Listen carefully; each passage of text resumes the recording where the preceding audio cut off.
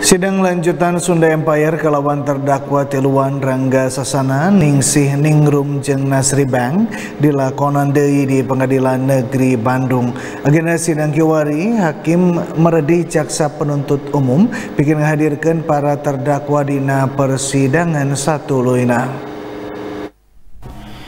Sidang terdakwa kerajaan fiktif Tiluan nyata Rangga Sasana Sabatur Batur dilakonan deui di Pengadilan Negeri Bandung.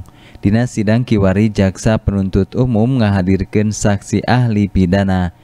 Dina persidangan saksi ahli ngaliwatan video telekonferen medar yen para terdakwa geus bukti ngarempak pasal 14 jeung pasal 15 ngenaan penyebaran berita bohong.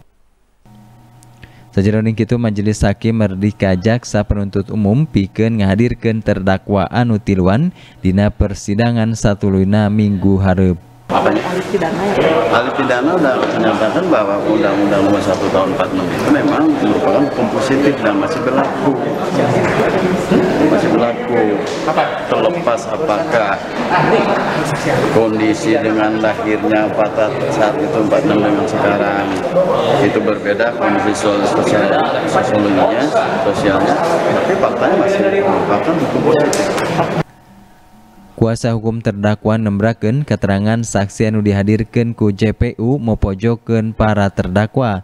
Pangna kitu yen dina pasal 14 jeung 15 Undang-Undang Nomor Hiji Tahun 1804 genep teka bukti ninggang ka Rangga Sasana CS. Dengan catatan apabila suatu produk hukum yang ada yang sudah pasti itu bertentangan dengan keadilan atau kemanfaatan Nah seperti itu dan walaupun dalam konsep pidana kita mengenal asas legalitas, akan tapi uh, independensi independensi kehakiman itu memungkinkan memberikan ruang untuk hakim itu tetap independen dan uh, menegakkan keadilan itu sendiri. Hmm. Seperti itu dan memang untuk keonaran, kebohongan itu harus dibuktikan secara valid.